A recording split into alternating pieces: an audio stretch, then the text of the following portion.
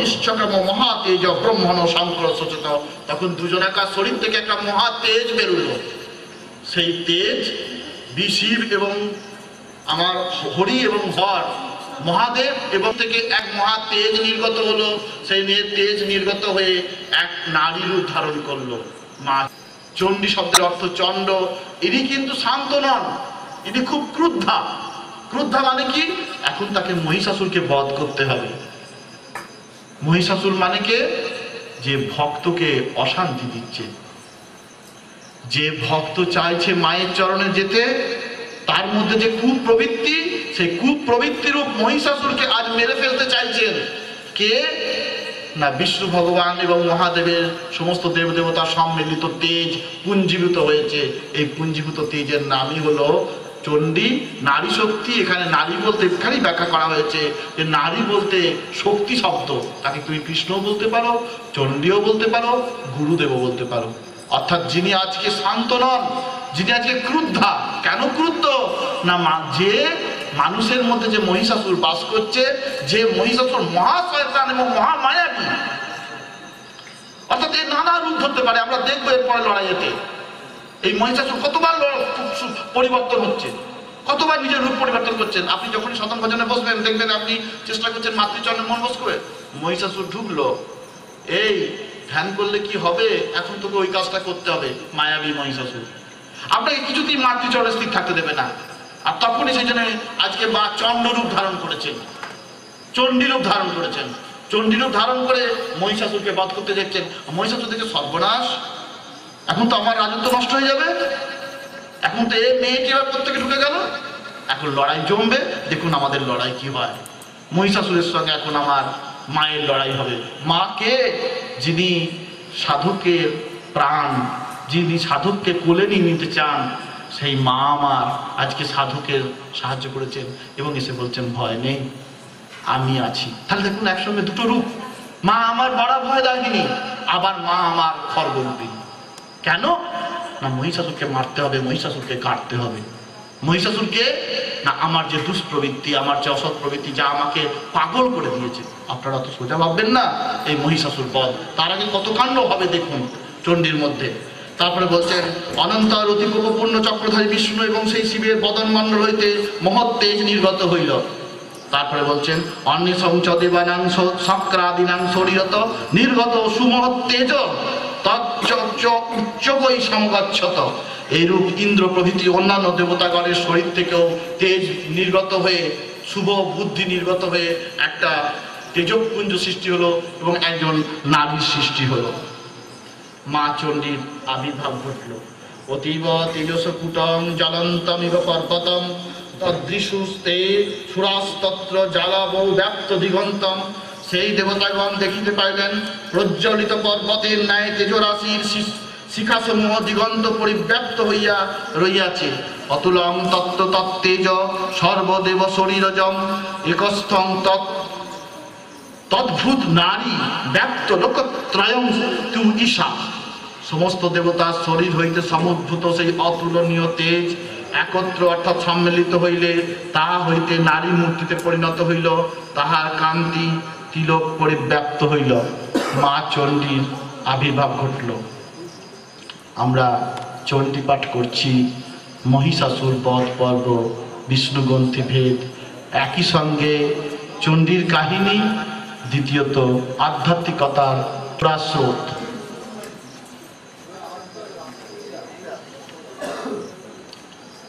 যদ, অভূত চ অসম্ভবং তেজস্তিনাজয়ত তন্মুখম। জাম্যেন চ অভবন কেশা বাহব বিষ্ণু তেজসা। শম্ভুর তেজে সেই মূর্তির মুখমণ্ডল গঠিত হইয়াছিল। এইরূপ জমের তেজে কেশ এবং বিষ্ণুর তেজে বাহু গঠিত হইয়াছিল। ব্যাখ্যা করছি না, সময় নেই। সৌমেন স্তনয়োর যুগ্মং মধ্যঞ্চ ইন্দ্রেণ চ অভবৎ বারুণেন চ জঙ্ঘ উরুনিতম্বস্তেজতা ভুব চন্দ্রের তেজে স্তনোদ্দয়, ইন্দ্রের তেজে মধ্যভাগ, বরুণের তেজে জঙ্ঘা, উরু এবং পৃথিবীর তেজে নিতম্ব দেশ গঠিত হইয়াছিল। এখানে চন্দ্রের তেজে মায়ের স্তনোদ্দয় তৈরি হয়েছিল এই কথাটা আমি আপনাদের কাছে ছোট্ট করে দু একটা কথা বলি, যে অন্যদিক দিয়ে দেখো মাতৃস্তন নয় ঘনীভূত হইয়া স্তন যুগল রূপে জননীর বক্ষ পরি পরিব্যক্ত অভিব্যক্ত হয়। মায়ের যে স্তন, এটা হলো সন্তানের প্রতি যে ভালোবাসা, সন্তানের প্রতি যে স্নেহ, এই স্নেহই মাতৃস্তন রূপে অভিব্যক্তি লাভ করে। কেউ যদি ঠিক এই অর্থে মাতৃস্তনকে চিন্তা করে তাহলে কামের ভাব আর কোনোদিনই তার মধ্যে জাগবে না। ইহা ধারণা করিতে পারিলে ইন্দ্রিয় পরায়ণতা হ্রাস পায়। কামিনীর বিনস্তনে ভোগের চিহ্ন না দেখিয়া ঘনীভূত স্নেহ দেখিতে অভ্যাস করো। মাতৃস্তনের মধ্যে ভোগের চিহ্ন না দেখে ঘনীভূত স্নেহ, মাতৃস্নেহকে দেখার চেষ্টা করো জীব, তোমার কাম নষ্ট হয়ে যাবে। সন্তান স্নেহ নারী হৃদয়ে সন্তান স্নেহ এত বেশি হয় যে তাহা ঘনীভূত হইয়া বাইরে স্তনের আকারে প্রকাশ পায়। পুরুষের স্নেহ তত অধিক নয় বলিয়াই পুরুষের স্তন তাদৃশ বৃদ্ধি পায় না। আমরা শুনলাম চন্দ্রের তেজ থেকে মায়ের স্তনযুগল তৈরি হলো এবং এই স্তনের আসল মাহাত্ম কোথায়? চণ্ডী বুঝতে গেলে আমাকে অনেক উন্নত চিন্তার মধ্যে অধিকারী হতে হবে। ভারতের এই যে তত্ত্ব এ কিন্তু রাস্তার জিনিস নয়, আমরা রাস্তায় নামিয়ে এনেছি তাই। এরপরে বলছেন, ব্রহ্মণস তেজস পাদ তদ অঙ্গুল অর্ক তেজসা, বসুনাঞ্চ করাঙ্গুলা, কৌরবে কৌবরে নচ নাসিকা। ব্রহ্মার তেজে মায়ের পদদ্বয় সৃষ্টি হলো, সূর্যের তেজে পাদাঙ্গুলি, দস্যুগণের তেজে করাঙ্গুলি, কুবেরের তেজে নাসিকা তৈরি হয়েছিল। এরপর আমরা একটা সুন্দর মায়ের রূপের বর্ণনা শুনব চণ্ডীর মধ্যে। মা কীরকম দেখতে আমার? মায়ের অলংকার কি কি? মা আমার কি কি অলংকার পরে দিগ্বসনা মা আমার কি কি অলংকার পরেন আমাদের সপ্তমী তিথি ধন্য হয়ে যাবে এই মাতৃকথা শুনতে শুনতে। এই মাতৃস্তুতি শুনতে শুনতে। এখানে কি সুন্দর বলছেন? দেখুন। বলছেন আমার নাই আভরণ, অমন কথা মুখে এনো না মা আর। আমার মা উমাকে মেনকা বলছে যে, পাগলা জামাইয়ের পাল্লায় পড়ে আমার উমার আভরণ নেই। আভরণ মানে কি? অলংকার। আমার উমার, মায়ের আমার অলংকার নেই। এই জন্যে মায়ের যে মা মেনকা, তার মনে দুঃখ যে উমা আমার আজকে গয়না করতে পারছে না। উমার আমার গয়না নেই। তখন উনি মাকে বলছেন, মা, আমার গয়না নেই এই কথা তুমি বলো না। আমি কেবল এই জগতে করতে পারি অলংকারের অহংকার। আমারই অলংকারের অহংকার বেশি, কার? আমার মায়ের। মা বলছেন, আমার অলংকারের অহংকার বেশি, আমার অনেক অলংকার তোমরা বলছো আমার অলংকার নেই? মা, কিন্তু আমার অনেক অলংকার। কি অলংকার মায়ের আমার? এ জগৎ বটে আমার অলংকারে সাজানো থাল। এই গোটা জগৎটাই হলো আমার অলংকারে সাজানো থালা। এই গোটা জগৎটাতেই আমার খালি অলংকারেরই থালা সাজানো। কি কি অলংকার সেখানে রয়েছে? প্রাতর মধ্যে সায়ংকালে পড়িয়ে দেন তা সকাল স্বয়ংকাল। স্বয়ং সময় কাল সকালবেলা এবং সন্ধ্যাবেলায় আমাকে ভালো করে অলংকার দিয়ে সাজিয়ে দেয় কাল। দেখুন না, মা এসেছেন কাশফুল ফুটেছে। মা এসেছেন, আকাশ নির্মল হয়েছে। মা এসেছেন, চারিদিকে এরকম আনন্দের হাট বসে গেছে। বলছেন আবার নিশাকালে বদলে পড়ায়, তাতে আলো আধার দুই দেখায়। সকালবেলা একরকমের আমার পড়ায় অলঙ্কার আবার সন্ধেবেলায় একরকম পড়ায়। আহা, বলো না তবে কার বা আছে এমন সুন্দর অলংকার? আচ্ছা বলো মা, এত সুন্দর অলঙ্কার আর কার আছে? কে বলে মা, তোমার উমার অলঙ্কার অপ্রতুল? পড়ি আমি স্থির তরিতের সুতায় গাঁথা তারার ফুল। আহ, এই তারা আকাশে ফুটেছে, মা আমার বিদ্যুতের সুতো দিয়ে তারার ফুলের মালা করেছেন তাহলে মা আমার কি? পড়ে থাকি, বলে বলি, ইন্দ্রধনু এক বলি, তা সই জয়ন্তী কি আর করবে বই জয়ন্তী হার? আমার আর বই জয়ন্তী হারের কি দরকার? জীবের জীবন নাসার নলক। আমার নাকের নলকটা হলো জীবের জীবন। জীবের জীবন হলো আমার নাসার নলক। তাও জানে সর্বজন। পদ্মপত্র জলের মতন দোলে যে তা সর্বক্ষণ। ওই নাকের নলক দুলছে আমার পদ্ম পাতায় জল যেমন টলমল করে, জীবের জলমল করে, ওই নাকের নলক আমি পড়েছি। জ্ঞান সমুদ্রের মহারতন উপনিষদ আমার কর্ণভূষণ। আমার কানের দুল হলো উপনিষদ। এ হলো আমার কর্ণভূষণ। মুকুট আমার সদানন্দ নাসেন ভবের অন্ধকার। আমার সদানন্দ, মা ভগবান শ্রীকৃষ্ণ হলেন আমার মাতার মুকুট, সবসময় ভবের অন্ধকার নাশ করেন। ওমা, বড়া ভয় মোর হাতের বলয়, আমার হাতের যে চুড়ি, এটা আমার বড়া ভয়। বড়া ভয় মোর হাতের বলয়, সে তো সবার জানা কথা। না কঙ্কনে পড়ি মুক্তি ফলের মুক্ত গাথা, আর করুণা কঙ্কন দিয়ে আমি মুক্তি ফলের কঙ্কন হাতে পড়ি। আমার কে বলে? মায়া যন্ত্রে কায়া ঢাকি আহা। মা আমার শরীরটাকে ঠেকেছেন কি দিয়ে? মায়া যন্ত্র দিয়ে। এটা দিয়ে তো গন্ডগোল করেছ মা? সব বাইকে মায়া দিয়ে ঘিরে রেখেছো। মায়া বস্ত্রে কায়া ঢাকি সতত সঙ্গপনে থাকি। না প্রকাশ সর্বস্ব যোগ মায়া সমাবৃত। আমি সবাইকার কাছে প্রকাশিত হই না যোগ মায়া দিয়ে নিজেকে ঠেকে রাখি। মূঢ় হং না জানাতি। আমাকে যারা মূর্খ তারা বুঝতে পারে না। ওই চায়ের দোকানে বসে আলোচনা করছে ভগবান ভগবান নেই, কি করে পাবে বাবা? নবাং দুষ্কৃতি, ন মূঢ়া প্রবদ্ধন্তে নরাধমা মায়া বৈত জ্ঞান আচরিং ভাবমাশ্রিত। মায়া দিয়ে ঢেকে রেখেছেন। বলছেন, মায়া বস্ত্রে কায়া থাকি, সতত সঙ্গপনে থাকি, নিতম্বে নিয়ত করি সপ্ত সিন্ধু চন্দ্রহার। সপ্ত সিন্ধু, অর্থাৎ সাত সাগরের চন্দ্রহার আমি আমার কোমরেতে বিচার হার করে রেখেছি। নাও, মাকে বোঝো এবার। ওমা আট সিদ্ধির নুপুর পড়ি, অষ্ট সিদ্ধির নুপুর পড়েছি আমি। অষ্ট সিদ্ধির নুপুর পড়ি, তাতেই বেশি মানায় মাওর আমাকে অনুরাগ। পুণ্যগন্ধ স্বরূপিনী স্বয়ং শ্রী মোর অঙ্গরাগ ব্রহ্মা আমার অলক্ত জল। বাবা, ব্রহ্মা হলো আমার আলতা। ব্রহ্মা হোক আমার অলক্ত জল, কেশব আমার চোখের কাজল। ভগবান শ্রীকৃষ্ণ হলেন আমার চোখের কাজল। কালান্তক জম্বল তাম্বুল আমি চর্বণ করি বারবার, আর যমরাজকে আমি তামাক খাই, তাম্বুল খাই, অর্থাৎ পান খাই। এসব গোবিন্দ দেখেছে ভালো সুধাইলে বলবে সেই বাকিটা জেনে নিও গোবিন্দের কাছে, যে তিনি সব বলবেন। বাছা বাছা কালো মেঘের আমলা মাটি দেশে নই, পোহাইলে বিবাহ করি শিশু সূর্যের সিঁদুর পড়ি সকাল হলে আমি শিশু সূর্যের সিঁদুর পড়ি চাঁদ বেটে চন্দনের ফোঁটা দিয়ে থাকি অনিবার, আর চাঁদকে বেটে চন্দনের ফোঁটা দিয়ে আমি।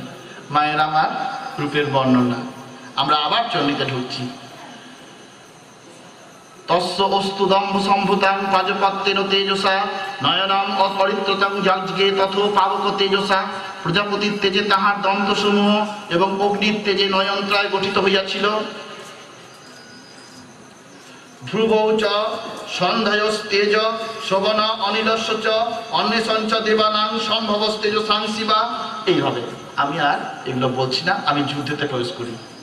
যুদ্ধটা একটুখানি যুদ্ধটা শুনতে হবে। এখন যুদ্ধটা কার সঙ্গে কার সঙ্গে হবে? মহিষাসুরের সঙ্গে মায়ের যুদ্ধ, কি করব? দুঃখেও। সময় তো খুবই আমাদের কাছে কম। সেই দেবী মূর্তিকে বরুণ দিলেন শঙ্খ, অগ্নি দিলেন শক্তি, বায়ু দিলেন বানপূর্ণ তুরীয়, সব ধনু অমরাধীপ সহস্রচলন ইন্দ্র বজ্র হইতে বজ্র উৎপাদন উৎপাদন করলেন ঐরাবত বজ্র হইতে ঘণ্টা আনয়ন পূর্বক সেই দেবীকে অর্পণ করলেন। আমরা নবদুর্গা জানি, নবদুর্গার একটা নাম হলো চন্দ্র ঘণ্টা কারণ ইন্দ্র মাকে ঘণ্টা দিয়েছিলেন। এর ব্যাখ্যা আলাদা। আমার সময় নেই কো আমার সময় আছে মানে এদিকে অনেক অসুবিধা হবে। তারপরে বলছি যে, যম কালদণ্ড হইতে দণ্ড দিলেন, বরুণ দিলেন পাশ প্রজাপতি দিলেন অক্ষমালা, ব্রহ্মা দিলেন কমণ্ডলু। এরা সবাই এই সমস্ত জিনিস দান করলেন। ক্ষীর সমুদ্র হইতে মনোরম হার দেবীকে, ক্ষীর সমুদ্র দেবীকে মনোরম হার দিলেন চির নতুন বস্ত্র যুগল দিলেন মস্তক ভূষণ চূড়ামণি, কর্ণভূষণ দিককুণ্ডলদয় বলয় সমূহ অর্ধচন্দ্র, বাহুভূষণ, কেউর পাদভূষণ বিমল নুপুরোদ্দয় কণ্ঠভূষণ অনুত্তম হার এবং অঙ্গুলি সমূহে রত্ন নির্মিত অঙ্গুরীয় প্রদান করলেন, এগুলোরই প্রত্যেকেরই আলাদা আলাদা ব্যাখ্যা রয়েছে। এরপরে হিমবান দেবীর বাহন সিংহ হিমবান দিলেন দেবীর বাহন সিংহ, বিবিধ রত্নারাজি এবং ধনাধিপতি কুবের দিলেন সুরাপূর্ণ পাত্র। লড়াইটা এবার শুরু হবে। যখন এরকম ভাবে মা মা সাজলেন লড়াইয়ে, নানা জন, নানা দেব দেবী, নানা রকমের অস্ত্র শস্ত্র দান করলেন। মা আমার সেজেছেন, লড়াই হবে এবার। তাহলে আমরা মাকে বুঝতে পারলাম মা আমার কে। মা হলেন ওই সম্মিলিত শুভ শক্তি, কল্যাণ, কল্যাণময়ী, মঙ্গলময়ী। ওই জন্য বলছেন জয়ন্তী ভদ্র মঙ্গলা, কালী, কপালিনী, শিবের বলে আমাদের অর্গলা মধ্যে বলছেন। মা হলেন কল্যাণ শক্তি, যিনি আমাদের অকল্যাণ থেকে ত্রাণ করেন, যিনি আমাদের ভববন্ধন দূর করেন, যিনি আমাদের দুঃখকে চিরকালের জন্য হরণ করেন। সেই দেবী আমার সেজেছেন আজকে, কেন? না মহিষাসুরকে বধ করবেন বলে। তখন কি হলো? সমস্ত ত্রিলোক সংক্ষুব্ধ দেখিয়া অমরারিগণ অগণিত সুসজ্জিত সৈন্য সহ যুদ্ধার্থে উদ্যত হস্তে সমর্থিত হইল। এখন মাকে এরকম সজ্জিত দেখে অসুরগণ সব নিজের নিজের অস্ত্র ধারণ করে চারিদিক থেকে আবির্ভূত হলো। অসুরগণ অর্থাৎ আমার যে দুষ্প্রবৃত্তি, খারাপ প্রবৃত্তি, আজকে বলো, এখানে দেখুন, শুনুন এখানে আহ, কিম তো রীতি। প্রথম চণ্ডীর ভাষ্য। আহ, কিম এতৎ ইতি? ক্রোধাৎ আভাস্য মহিষাসুর। অভ্যধাবত তম শব্দ সরই ধনুই অবি- ঐ- ঐবৃত ধনুরই ধনুই অসুরই বৃত। অনুবাদ বাংলা মানে। মহিষাসুর বললেন, আহ, এ কি? ক্রোধের সহিত এই কথা বলিয়া মহিষাসুর অগণিত অসুর কর্তৃক পরিবেষ্টিত হইয়া সেই শব্দ লক্ষ্যে ধাবিত হল মহিষাসুর এগিয়ে আসছেন মায়ের সঙ্গে লড়াই করতে। কিন্তু সবচেয়ে মজাটা হচ্ছে কি জানেন? এই মহিষাসুর যে লড়াই করতে আসছেন, মহিষাসুর কিন্তু প্রথমে আসবেন না। মহিষাসুর তো হলো রজগুণ। প্রথমে আসবে না, তার সাঙ্গপাঙ্গগুলোকে পাঠাবে। এই সাঙ্গপাঙ্গগুলো কে? সদদর্শ তত দেবী ব্যাপ্ত লোকত্রয়স্থিতা পদাক্রান্তা নত ভুবং কিরীট লিখিত অশ্বরাম ক্ষোভিত অশেষ পাতালাং ধনুর্যানিশ্ব নেতাম দিশ অভূত সহস্রেণ সমস্ত দাবাত্ম সংস্থিতাম। অনন্তর সেই মহিষাসুর দেখিতে পাইল, এক দেবী মূর্তি বিরাজিত, তাহার কান্তিতে তিলক পরিব্যাপ্ত হইয়াছে। পদভরে পৃথিবী অবমনি অবনমিত হইতেছে। কিরিট আকাশ স্পর্শ করিয়াছে। ধনুক যা ধ্বনিতে চন্দ্র পাতাল সংক্ষুব্ধ হইয়াছে। সহস্র দিকমণ্ডল সহস্র ভুজ দিকমণ্ডল পরিব্যাপ্ত করিয়াছে। তত প্রবৃত্তি যুদ্ধং তথা দেব্যাং সুরদিশাং সস্তাস্তৈ বহুবা বহুবাহুর মুক্তৈ বাদিত দিগন্তরম অনন্তর সেই দেবীর সহিত অসুরগণের যুদ্ধ আরম্ভ হইল। উভয় পক্ষের বহুদা নির্মুক্ত স্বর অস্ত্রের তেজে দিগন্ত দীপ্তিময় হয়ে উঠল। মহিষাসুরের সেনাপতি চিক্কুর এবং চামর অন্যান্য অসুরগণের সহিত চতুরঙ্গ বল সমন্বিত হইয়া যুদ্ধ করিতে লাগিল। তাহলে প্রথমে মহিষাসুর তার সেনাপতিদের পাঠালো। এই সেনাপতি দুজনের নাম কি? চিক্কুর আর চামর। আমরা এই কথাগুলো একটু মনে রাখার চেষ্টা করব। চণ্ডীর যে যুদ্ধ, সেই চণ্ডীর যুদ্ধেতে মহিষাসুরের সঙ্গে যে লড়াই, সেই মহিষাসুরের সঙ্গে লড়াইয়েতে মহিষাসুর প্রথম তার দুজন সেনাপতিকে পাঠিয়েছিলেন। এই দুজন সেনাপতির নাম হলো চিক্কুর আর চামর। আমরা এর আধ্যাত্মিক ব্যাখ্যাটা একটু শুনি। চিক্কুর হলো বিক্ষেপ শক্তি আর চামর হলো আবরণ শক্তি। আমরা যখন ভগবানকে বা মাকে ধ্যান করতে চাই, মাকে যখন আমরা দর্শন করার জন্যে সাধনা করতে অগ্রসর হই, তখন মহিষাসুরের এই দুই শত্রু এসে আমাদের সাধনাতে বিঘ্ন উৎপন্ন করে। তাই আমাদের সাধন সমর, সাধনার যুদ্ধ প্রথম করতে হয় চিক্কুর এবং চামরের সঙ্গে। চিক্কুর হলো বিক্ষেপ শক্তি। বিক্ষেপ শক্তিটার মানে হলো, আমরা যখনই ভগবানের চরণে মনটাকে স্থির করতে চাই, তখন বিক্ষেপ এসে যায়। বিক্ষেপ কাকে বলে? না, একটা জায়গায় মনকে স্থির থাকতে না দেওয়ার নাম হলো বিক্ষেপ। আপনারা এখানে যারা বসে আছেন, তারা সবাই এই চিকুর দৈত্যের পাল্লায় পড়েছেন। চেষ্টা করছেন মনটাকে স্থির করে রাখব, কিন্তু এর মাঝখানে মাঝখানে বিক্ষিপ্ত হয়ে যাচ্ছে যে বাড়ি তো যেতে হবে, ওইটা তো করতে হবে, সেটা তো করতে হবে। এই চিক চিক্কুর দৈত্যকে না মারা পর্যন্ত কিন্তু কিছুতেই ওই জায়গায় যাওয়া যাবে না। তাহলে চিক্কুরকে না আমার মনের মধ্যে যে বিক্ষেপ বিক্ষেপ মানে একটা জায়গায় স্থির না থেকে বলছেন সনাই সনাই উপর আমি বুদ্ধা দিতে গৃহীতয়া। এই জন্যই তো আমার রাখাল রাজ কৃষ্ণ। চন্দ্র তারা মহাধেনু ওই যে রাখালগিরি করছেন বারবার মন চলে যাচ্ছে বাইরে, সেখান থেকে আবার ধরে এনে রাখতে হবে। তা চিক্কুর দৈত্যকে মহিষাসুরের যে সৈন্য প্রধান সেনাপতি, চিক্কুর হলো আমাদের বিক্ষেপ শক্তি। বিক্ষেপ মানে কি? মানে একটা জায়গা স্থির না থেকে মনের চঞ্চল হয়ে চলে যাওয়া। একে কিছুতেই মারা যায় না। তারপরে বললেন কি? চানুর।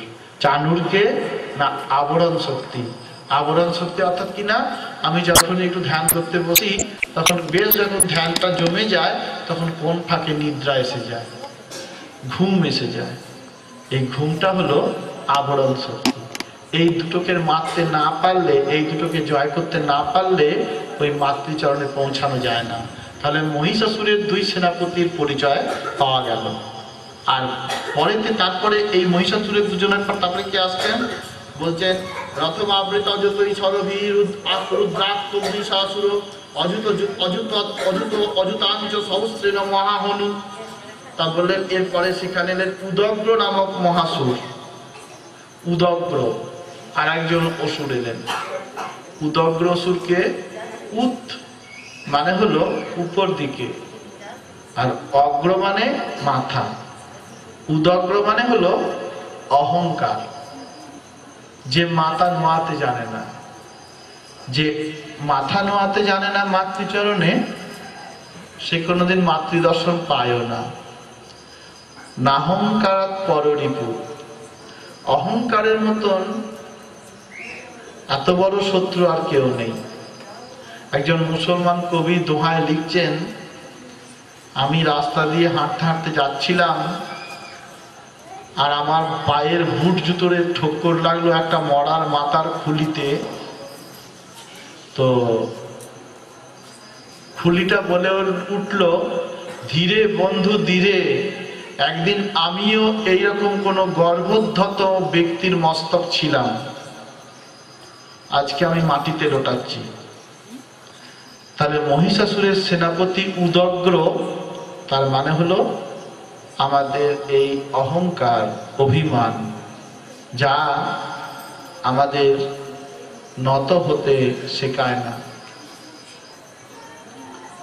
তারপরে বলছেন মহাহনু মহাহনু মানে হনু তো হনুই, মহাহনু মানে মহামোহ, যেটা জ্ঞানের পথে বাধা সৃষ্টি করে। তারপরে বললেন মহাসুর অশিলমা। এরপরে এলেন অসিনমা অশিলমা নামক দৈত্য। দেখুন তাহলে মায়ের সঙ্গে লড়াই হচ্ছে মহিষাসুরের, তার আগে এইগুলো আসছে। অশিলমা অ দন্ত হস্যই আপনারা কি খুব বিরক্ত হচ্ছেন না তো? আমি একটুখানি বলে আপনাদের কাছ থেকে বিদায় নেব। এখন তো বাজছে একটু সময় আপনাদের কাছে চাইছি। এরপরে বললেন অশিলোমা অশিলোমা অসি অসি কথাটার মানে হলো তরোয়াল। তরোয়ালকে অসি বলা হয়। অশিলোমা মানে যার লোমগুলো খাঁড়ার মতন। মহিষাসুরের এক পার্শ্বদ। এই অশিলমা হলো আমাদের অন্তরের হিংসা। এই হিংসা যে করে এবং যার উপরে করে, দুজনাই কেটে মরে, দুজনাই জ্বলে মরে। অশিলমা নামক অসুর তারপরে বললেন, বাসকল। তারপরে এলেও এরা সবাই একে একে আসতে আরম্ভ করল। অসুরমা, অসুরগণের জনসংখ্যা বাসকল। বাসকল শব্দের অর্থ হলো ভোগবিলাস। ভগবানকে পেতে গেলে এই যে ভোগের প্রতি মোহ, এই জয় করতে হয়। তাহলে বাসকল অসুরের আধ্যাত্মিক মানে হলো ভোগবিলাস।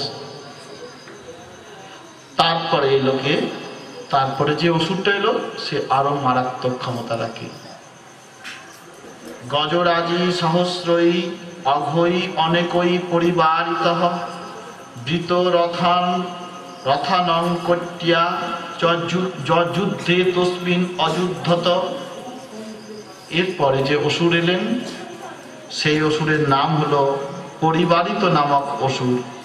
সেই যুদ্ধস্থলে বহু সহস্র হস্তি অস্ত্র এবং কোটি সংখ্যক রথে পরিবেষ্টিত হয়ে যুদ্ধ করতে লাগলেন। আমরা অনেকগুলো অসুরের নাম পেলাম, আর একবার শুনে নিই। প্রথমে বলছেন চিকুর তারপরে চানর